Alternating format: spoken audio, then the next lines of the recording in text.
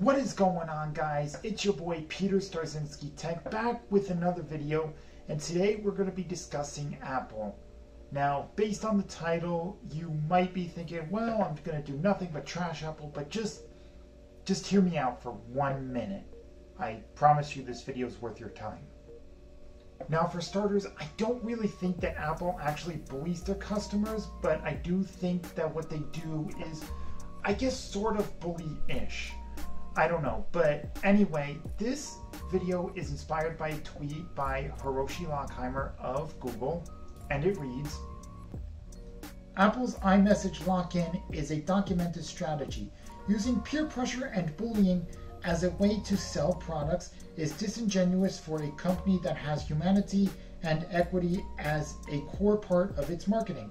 The standards exist today to fix this. Basically, what he's trying to say is that what Apple tends to do is they tend to lock their customers in, in an ecosystem, so to speak, a system separate from Android. And what they try to do is they try to keep themselves separate as a way to keep their own services and keep their customers.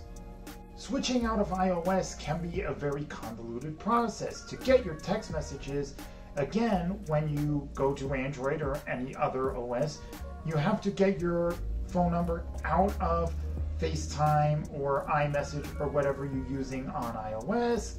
And it can be very difficult because a lot of that is buried in the settings. But now let's say you did manage to remove your phone number from iOS and from iMessage, FaceTime, etc., etc. Well, now you become a green bubble to your friends. And that causes problems, particularly in group chats, because now suddenly you have to restart that group chat. You have to create a whole new one to include that person. This could also lead to a thing called Android shaming but it is Apple's way of separating Android users from iOS users. Also, when you switch to Android or to any other operating system, you lose the Apple reaction emojis. So basically, when someone sends you a text from an iOS device to an Android device, it will say, this person loved this message. Instead of getting the colorful emojis, you just get some text. Then there's your apps. Some apps are not going to be available on Android. Some apps are not available on iOS. However, this creates a big problem because then some of the apps that you have on your iOS device will probably not be available on your Android device. And also, Apple doesn't have a way of app developers allowing users to carry over in-app purchases or app purchases over to Android. So you would have to buy the app all over again once you transfer over to Android. And this is something that customers do not want to do. They want to save money, so they don't want to have to buy the app again. It is understandable that app developers don't want to have to develop for Android because there's a billion devices out there, whereas on iOS, you only have to develop for a few devices. Also, your contacts, your calendar events, and stuff like that, that's saved on your iOS device and saved to iCloud, that's all gone. Can't take that over to Android. Number two, Wear OS on iOS. Now, this has not been a perfect marriage between Wear OS and iOS, obviously, because Wear OS is Google's operating system for watches, and iOS is Apple's operating system, which is very closed. Now, while integration has gotten better between Wear OS and iOS, um, there's still some features that you can't use. For example, you can't respond to iMessage text from Wear OS. In the beginning of Wear OS, or as it was called Android Wear back in the day, there was compatibility issues, meaning that not all apps would sync up because of app availability from the iOS store. Some apps are still not available on Android that would typically be available on iOS, let's say.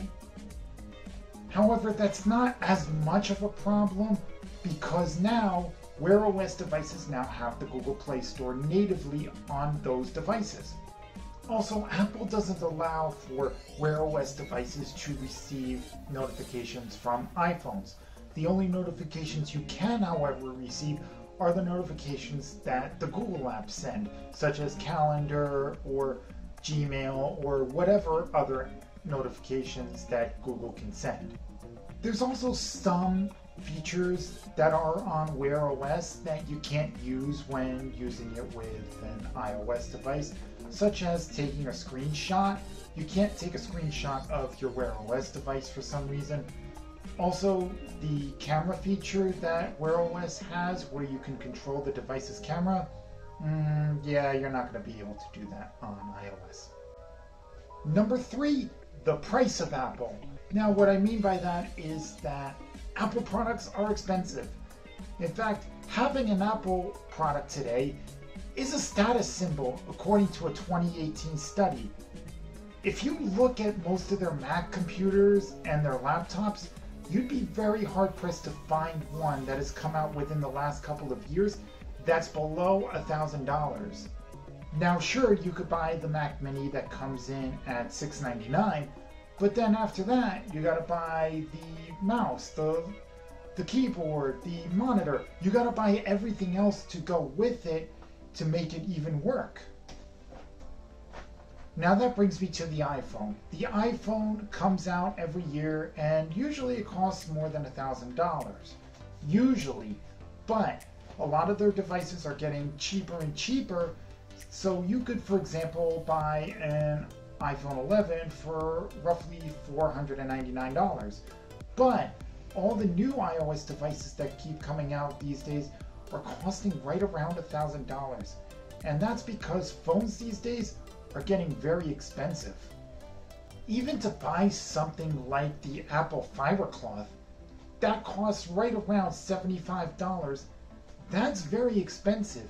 And it's further proof that Apple is more of a status symbol of wealth as opposed to being a company that's there and that sells its products having an Apple device or an Apple anything gives off the vibe that you have money. So, my final thought is that Apple is an ecosystem. So, anything you have, like if you have an iOS device, you're better off buying the Apple AirPods or the Apple Home or or a Mac computer or whatever.